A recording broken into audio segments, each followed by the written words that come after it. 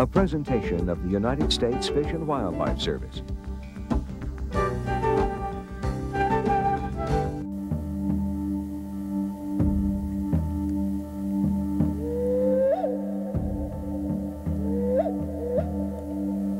In southern Arizona, along the Mexican border, is one of the most inhospitable and desolate places in North America. Here on close to a million acres of Sonoran Desert lies Cabeza Prieta National Wildlife Refuge, a place as wild and grand as any in North America.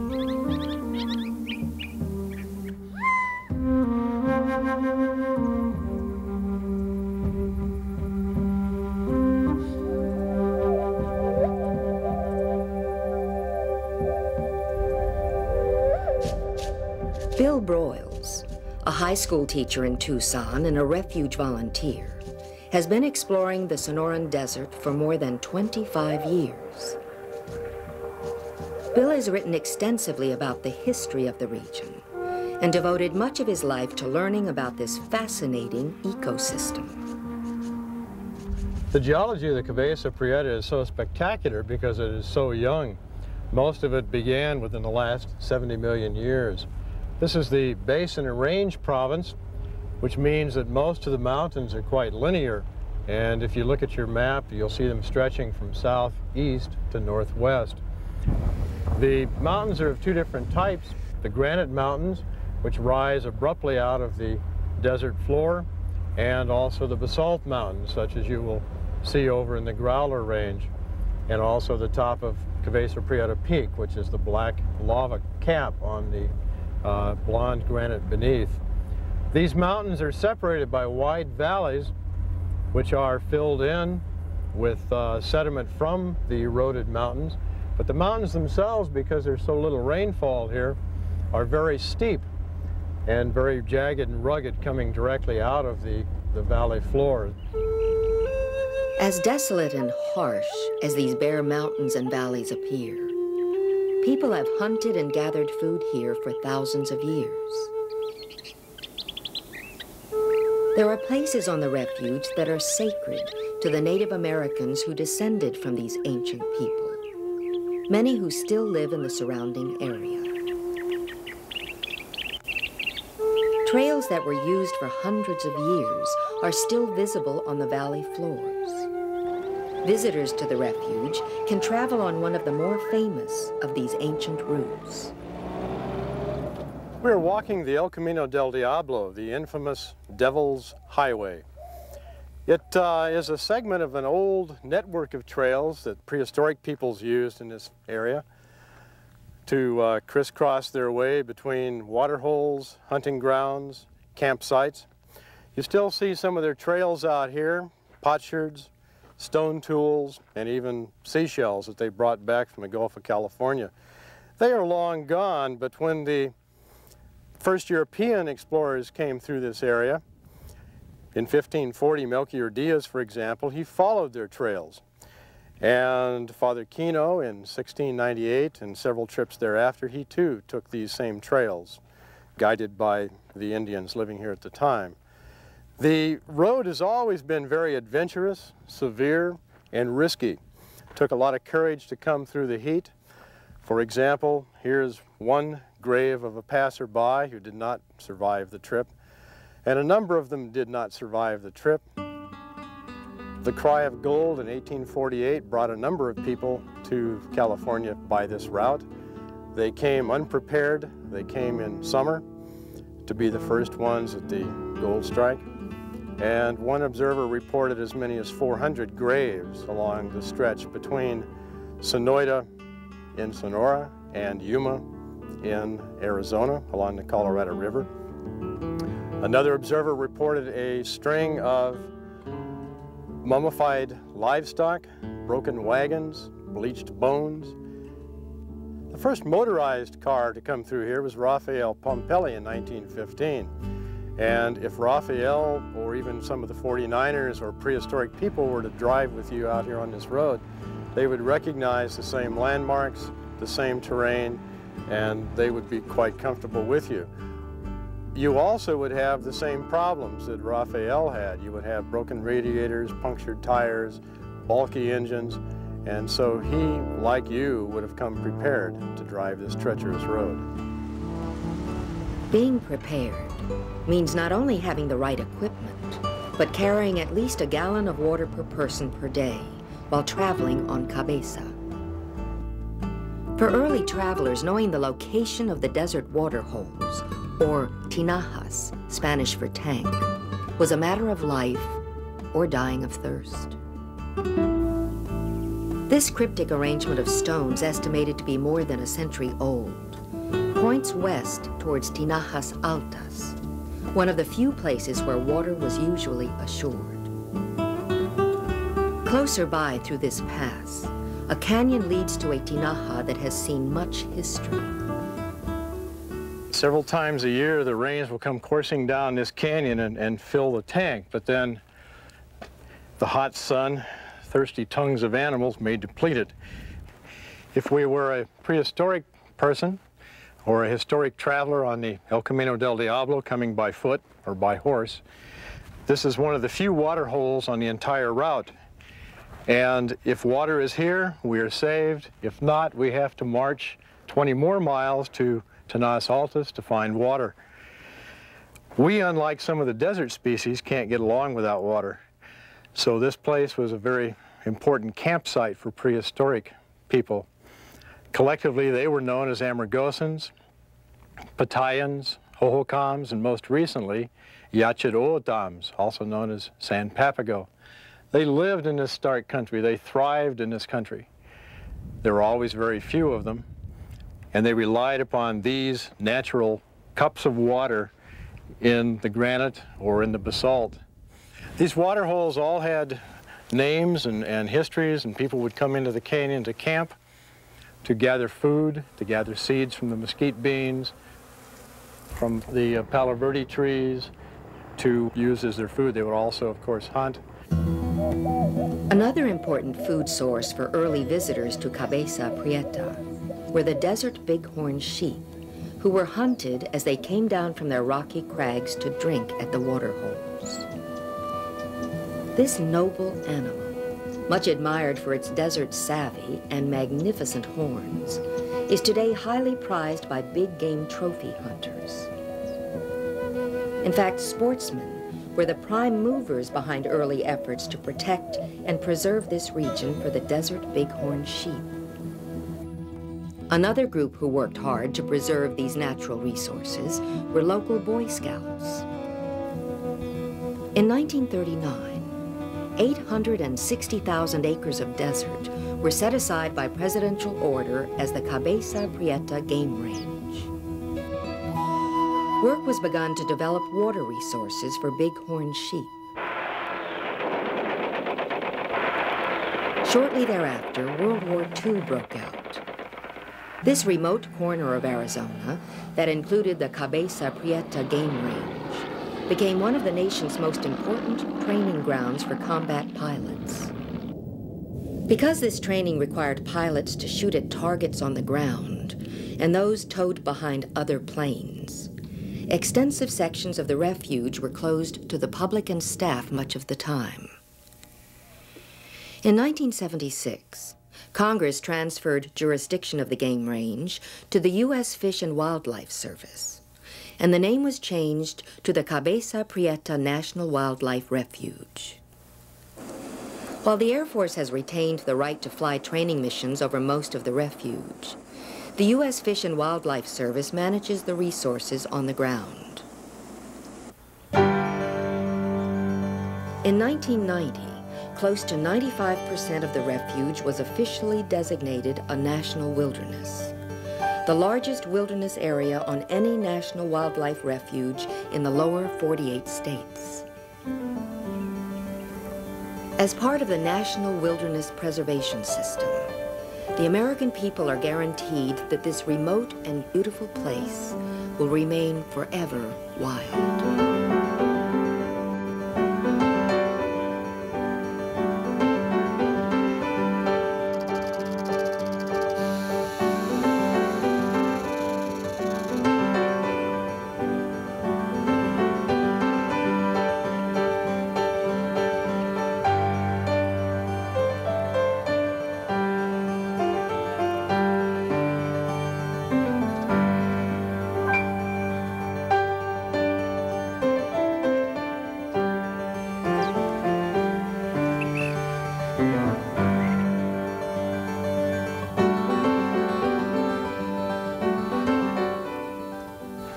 I was a kid, I imagined deserts to be parched, bleached, broken ground, solid rock, billowing clouds of dust, but the Sonoran Desert has taught me better than that.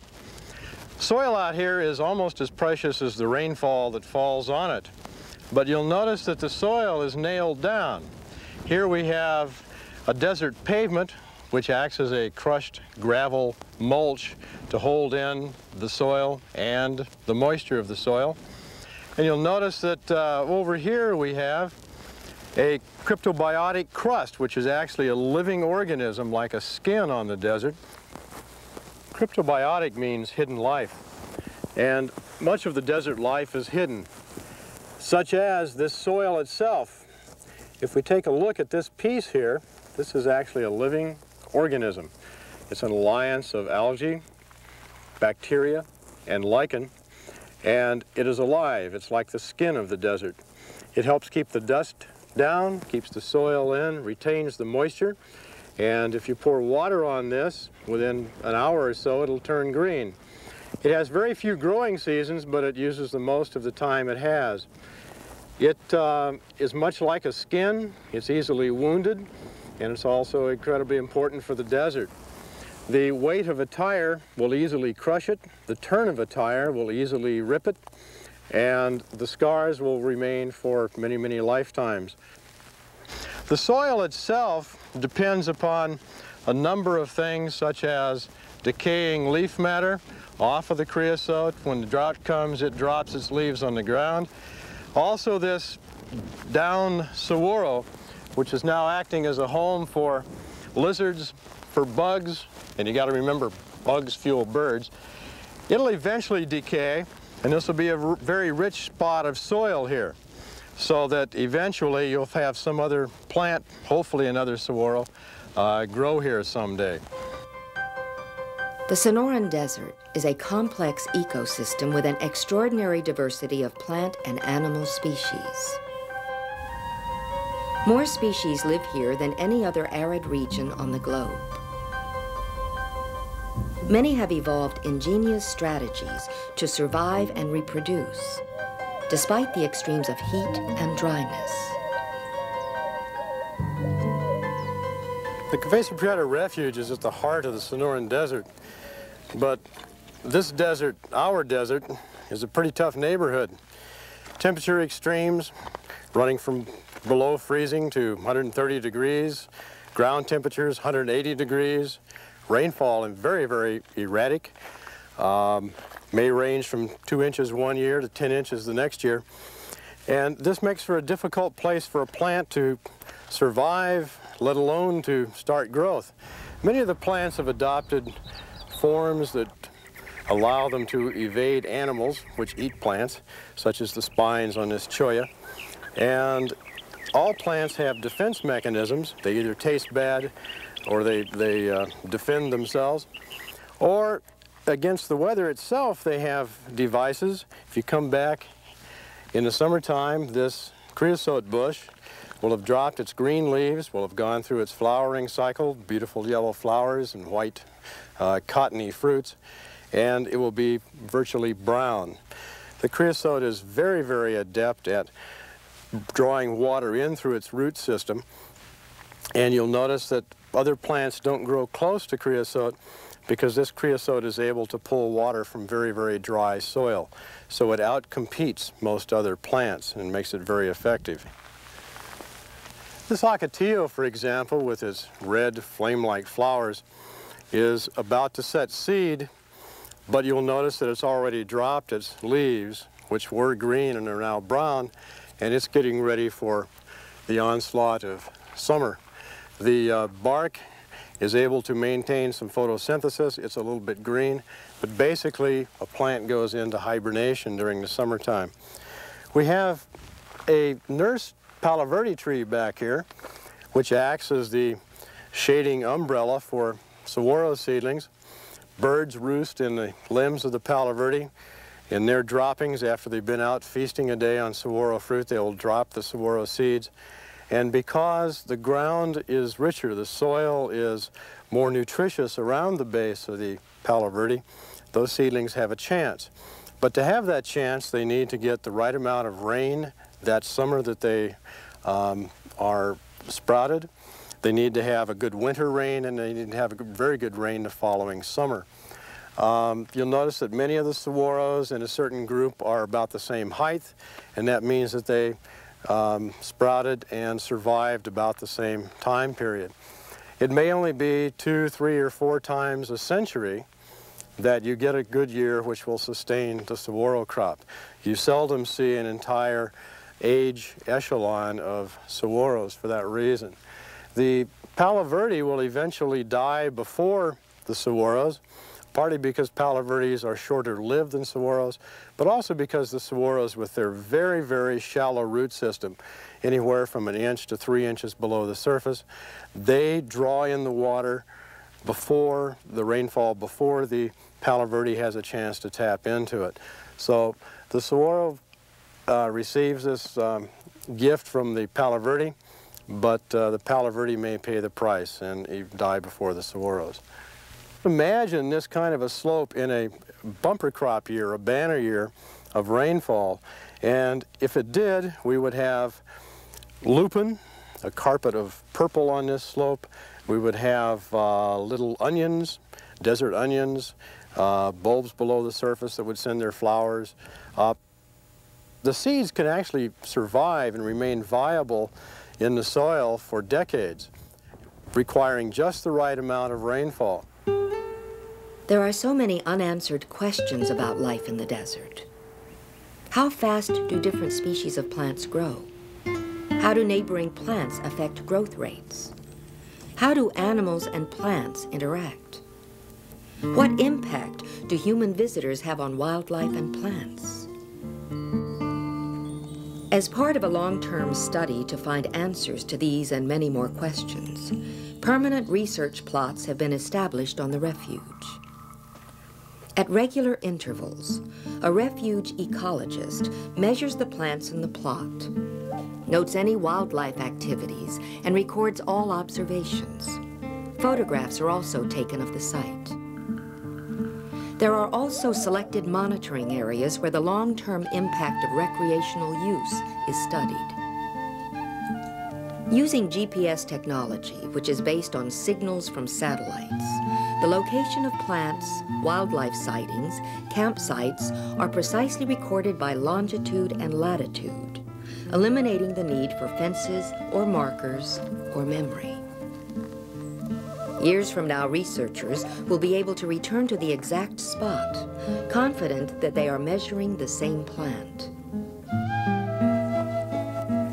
Another challenge is understanding how rainfall patterns influence life on the desert.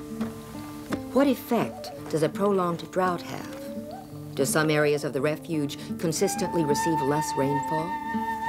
Is there less or more rain now than 20 years ago? Since the 1960s, volunteers have provided invaluable assistance monitoring the amount and distribution of rainfall by regularly checking and recording information from as many as 50 rain gauges set up around the refuge. At a few of the more remote areas, the information on water levels is now automatically relayed by radio to headquarters. When levels are low, the refuge hauls water to fill some of the basins located strategically throughout the refuge. Many scientists believe bringing water to these basins may be critical for many mammal, bird, and bat species on Cabeza. Other scientists, though, are concerned that increasing the availability of water in the desert helps support species not native to Cabeza, perhaps upsetting the natural balance. Research is underway to better understand what effect these water systems have on native species. Every few years, the refuge's bighorn sheep population is assessed by aerial surveys. The number of rams observed is used to determine bighorn sheep hunting quotas. Usually five to seven sheep hunting permits are awarded each year by lottery. Aerial surveys are also used to monitor the refuge's Sonoran pronghorn antelope population, an endangered species. The U.S. Fish and Wildlife Service, as the lead agency in the recovery of endangered species, is interested in learning how much area the pronghorn use and the kinds of habitat they prefer. A number of pronghorn have been radio collared and their weekly movements tracked.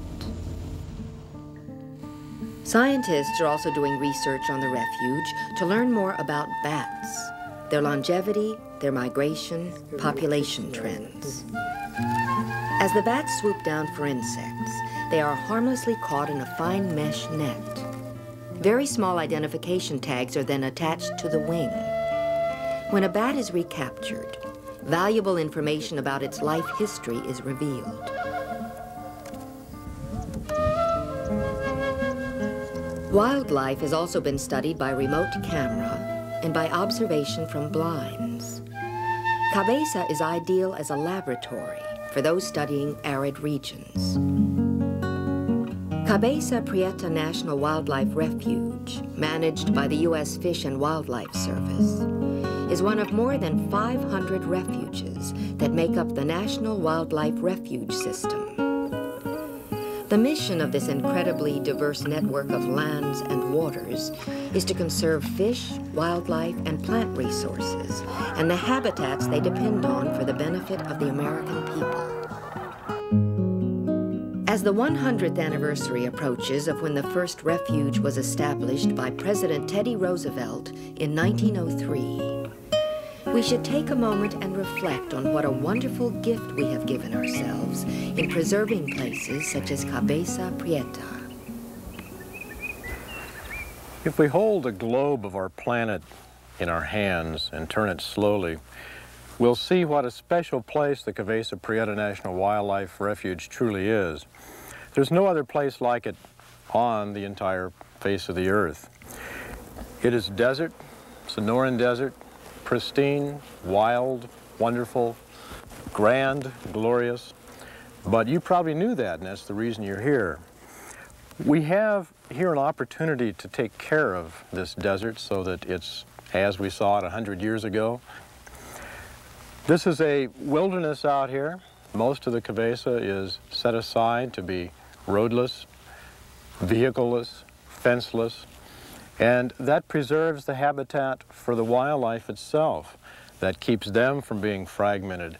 Wilderness is much like Humpty Dumpty and once broken, difficult, impossible to ever repair, to replace. We're constantly reminded out here how well nature does her job when we do not interfere. We also are able out here to study some of the great problems and questions of our environment. We're able to ask questions and take a look at what the answers might be in a truly pristine environment, one which has not been turned over, turned upside down by our own hands.